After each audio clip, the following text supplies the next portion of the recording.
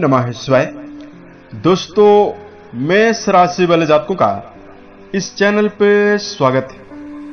इस वीडियो में हम आपको बताने जा रहे हैं 26 मार्च 2024 की सुबह है। तीन बजकर चार मिनट पर बुधदेव मेष राशि में प्रवेश करने वाले हैं और देवगुरु बृहस्पति के साथ युति बनाने वाले हैं।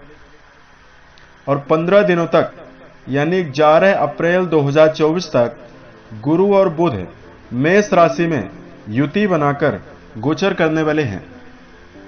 इन दोनों ग्रहों की युति काफ़ी लाभकारी साबित होती है तो इसका कई राशि वाले जातकों के जीवन में सफलता मिलने वाली है और कई राशि वाले जातकों को इसका नुकसान भी होने वाला है। मेष राशि वाले जातकों के जीवन में कैसा प्रभाव दिखाई देगा इस वीडियो में हम आपको जानकारी देने वाले हैं। मेष राशि वाले जातकों, आपके राशि में ही इन दोनों ग्रहों की युति बन रही है तो किन किन क्षेत्रों में आपको सकारात्मकता मिल सकती है और कहाँ पर आपको सावधानी पूर्वक चलने की आवश्यकता भी रहने वाली है? देखिए, देवगुरु बृहस्पति ज्योतिष शास्त्र में सबसे प्रभावशाली ग्रह माने जाते हैं।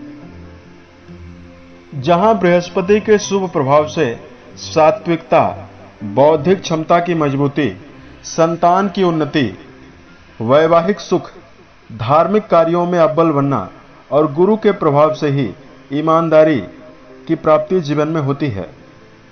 वहीं बुधदेव ज्योतिष शास्त्र में एक राशि में सबसे कम समय तक, यानी 23 दिनों तक गोचर करने वाले ग्रह माने जाते हैं और बुध के बिना भी कई प्रकार की चीज़ें अधूरी हैं।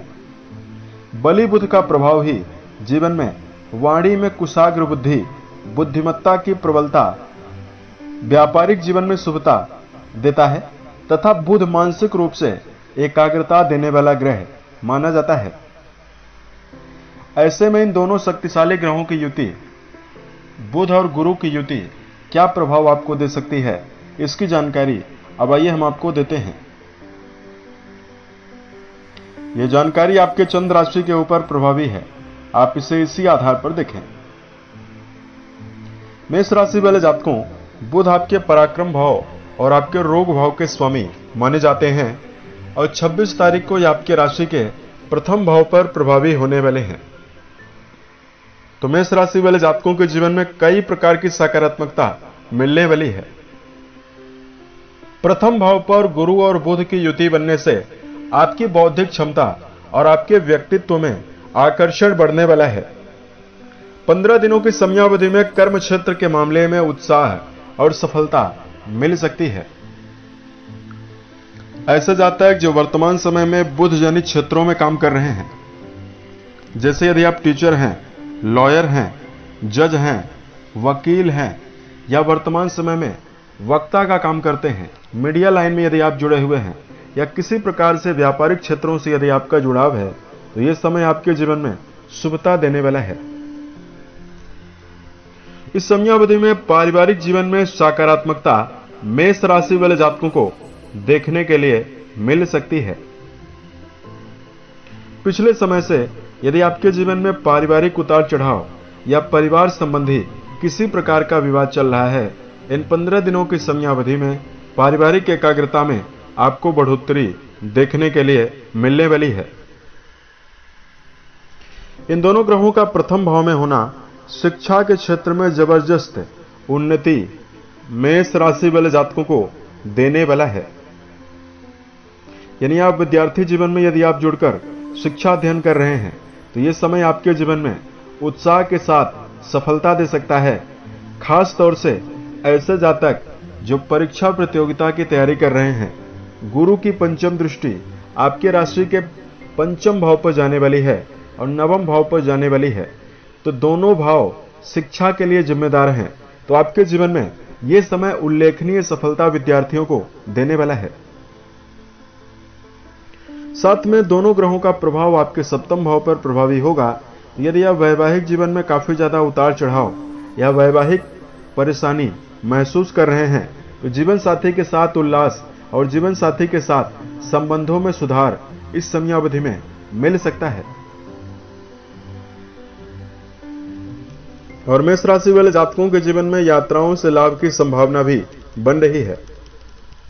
लंबी दूरी की यात्राओं पर जाने के अवसर भी आपको मिलेगा और यात्रा के माध्यम से भी लाभ प्राप्त कर सकते हैं।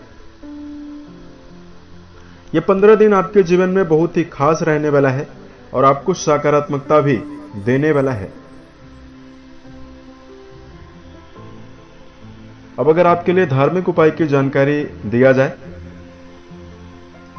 जीवन में शुभता और बुद्ध जनित दुष्प्रभावों को यदि आप समाप्त करना चाहते हैं, वाणी के द्वारा कड़वे शब्दों का प्रयोग आपको नहीं करना है। बुध वाणी के कारक माने जाते हैं। तो आपको इस समयावधि में रिश्तों में उत्साह बनाकर चलना चाहिए। रिश्तों में भावनात्मक रूप से आवेगित होकर आपको क्रोध पूर्वक स्थितियों में आकर कड़वे शब्दों का प्रयोग नहीं करना चाहिए।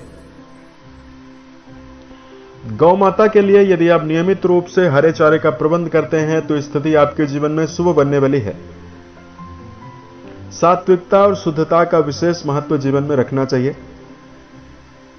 गरीब बच्चों में यदि आप उनकी शिक्षा में मदद करते हैं, यानी यदि आप पाठ्य पुस्तक कलम, किताब, इन चीज़ों को यदि आप लेकर बच्चों में बांटते हैं, देते हैं, बुधवार के दिन तो आपके जीवन में यह समय काफ़ी शुभता आपको दे सकता है।